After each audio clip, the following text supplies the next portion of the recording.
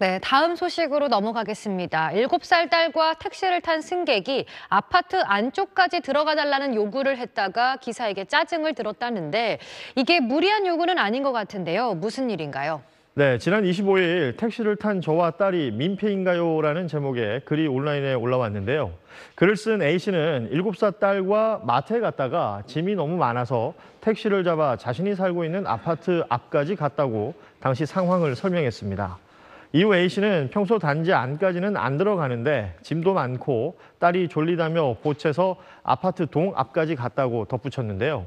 문제는 그 이후에 발생했습니다.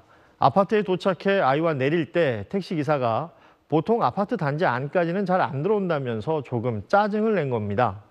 이에 A씨는 짐도 많고 졸리다는 아이 때문에 조금 편하려고 택시를 이용한 것인데 제가 민폐를 끼친 건가 이런 생각이 든다고 억울함을 하소연했습니다.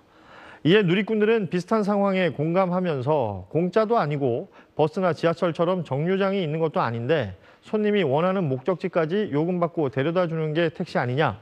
미터기에 나온 요금 그대로 다 지불해 주니 정당한 요구라는 의견을 적기도 했습니다.